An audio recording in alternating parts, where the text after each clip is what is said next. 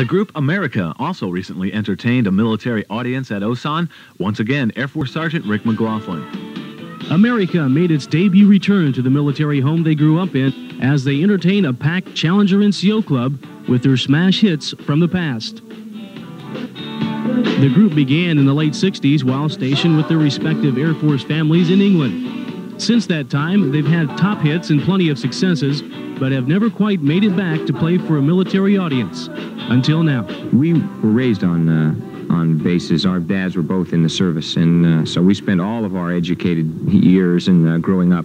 It's a very familiar feeling for Dewey and I, and to actually be billeting on base, it's uh, it's bringing back a lot of memories that were long kind of buried. Really, yeah, it's kind of a strange feeling coming back. It's really been 20 years since we were on Yeah, base, yeah. formally moving within the the guys and whatnot. So a lot came back.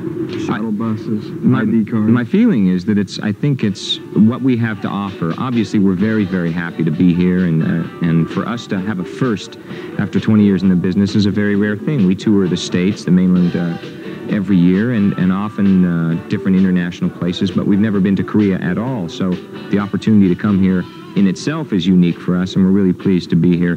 Since 1977, Bunnell and Beckley have been on their own, leading America through its ups and downs. And surprisingly enough, it wasn't until Osan that a reunion of sorts took place when Dave Peek, the younger brother of former founding member Dan Peek, was called up on stage to help close out their final encore of the evening. You know, I've been an America fan, whether my brother was in it or not, all my life. And uh, I'd seen him play when I was younger, when my brother was with him, and then after he left the group. And I've always, uh, whenever they're in the area, I've always, you know, tried to catch them and uh, catch their show. And I just happened to hook up with them. It's kind of a coincidence that they were uh, playing here in uh, Osan, and uh, I was able to, one way or the other, to get a hold of them. And they just invited me up for the encore, and probably ranks up there with one of the biggest thrills of my life. And how about older brother Dan?